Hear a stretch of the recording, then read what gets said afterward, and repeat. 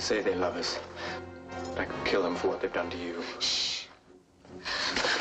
Oh, Elizabeth, I don't know what madness is upon us. Friedrich! Klaus! They're free! What madness lies like a curse upon this family? What secret binds brother and sister in a conspiracy of fear?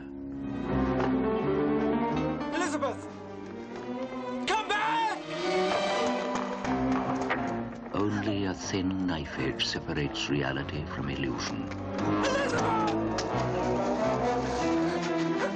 Sanity from madness. I'm not Elizabeth! I'm not! Amy. The torments of the flesh from the demons of the mind.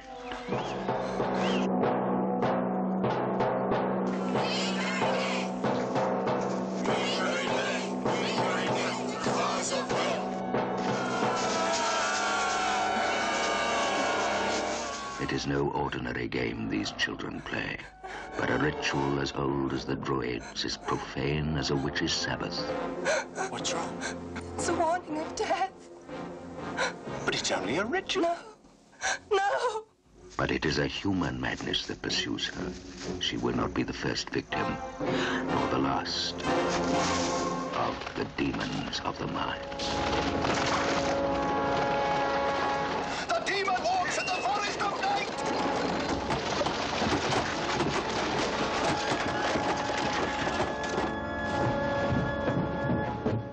This place reeks of madness and decay. Elizabeth's not mad now, but you in this house will drive her mad. You may have thought you were trying to protect them. But without understanding, you have been destroying them. It's been a nightmare.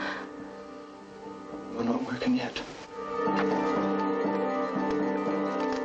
No one need ever know of this horror. The world will be a better place without me, and it won't even know that you died. Root out evil and destruction! Please, I must go to her. Emil, Elizabeth's safe.